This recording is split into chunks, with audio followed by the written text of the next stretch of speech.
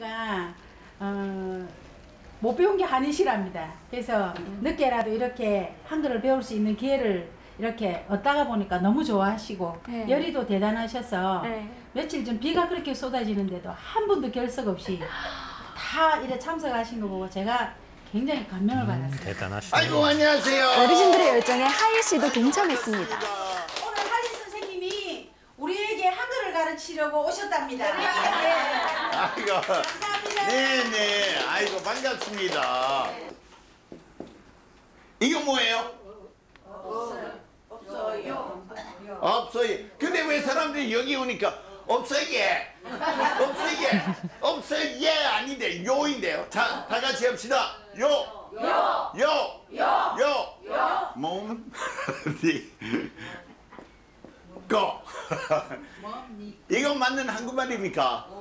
아닙니다. 아니야. 네, 아니지. 어떻게 해야 되지? 무엇입니까? 무엇입니까 해야지. 맞습니다. 영도 생각하면 무슨 생각 나세요? 이런 거 동시로 한번 써볼까요?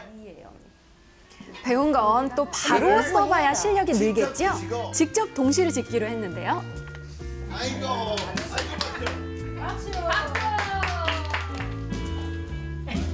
시작.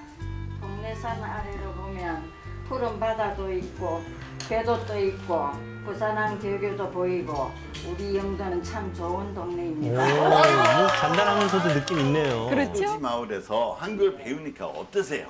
너무 좋습니다. 너무 좋죠? 예, 저희들은 이못 배우는 세대거든요. 네. 그리고 배우면은 젊어지잖아요. 그렇습니다. 네, 어머님 얼굴 진짜 아주 젊으신 얼굴이네요. 네.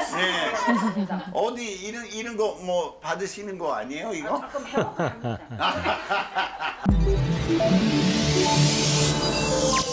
KBS